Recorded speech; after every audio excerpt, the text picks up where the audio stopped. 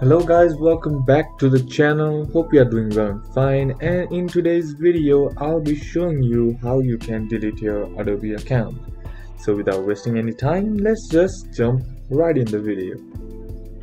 The first thing that you want to do is go ahead and open up your web browser and on the search bar or your address bar just type in Adobe login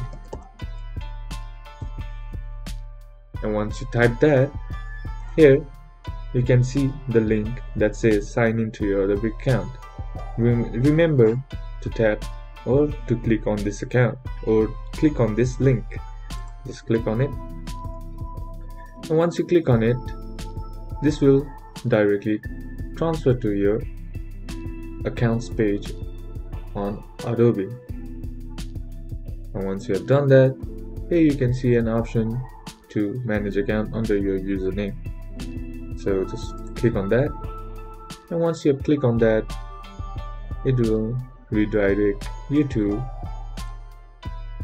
this page.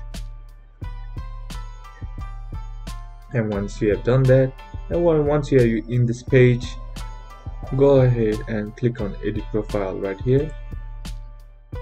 Scroll down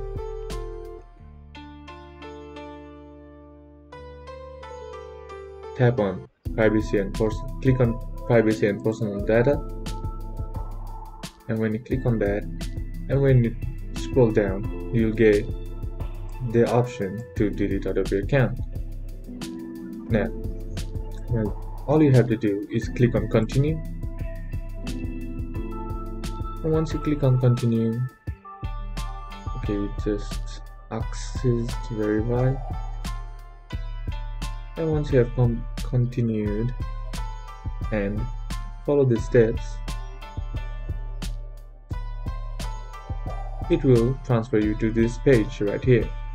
And all you have to do is select the region or you can just add your region by clicking on other and just then tap on continue.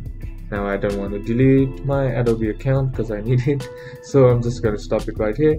Now after for you now after you click on continue, your account should be deleted. And that's it for today's video guys. Hope this video was useful to you. Leave a like if you did.